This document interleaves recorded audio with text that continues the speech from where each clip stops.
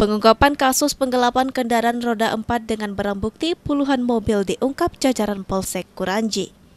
Dalam kasus ini polisi menangkap tiga orang pelaku, satu orang warga Gunung Sari, Nanggalo, dan Pilakut. Dengan peran yang berbeda-beda.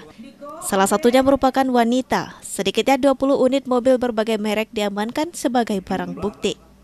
Kapolsek Kuranji AKP Nasirwan mengatakan kasus penggelapan berhasil diungkap setelah adanya penyelidikan atas laporan salah satu korban di mana pelaku merental mobil korban namun tidak dikembalikan dan ternyata digadaikan kepada orang lain.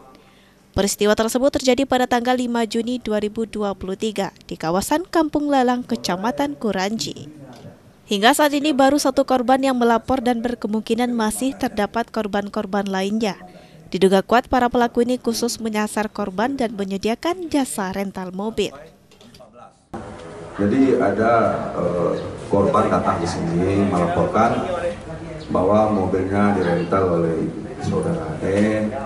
Uh, kemudian ada yang tidak dikembalikan. Kemudian digadaikan sama orang lain. Jadi atas laporan itulah kita rekomendasikan ke Panit lakukan penyelidikan sehingga lapor itu benar.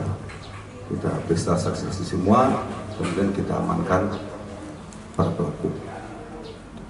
Ada berapa unit yang kita amankan yang kita amankan waktu apa uh, pelaku pengaduan uh, tiga unit kita amankan dulu.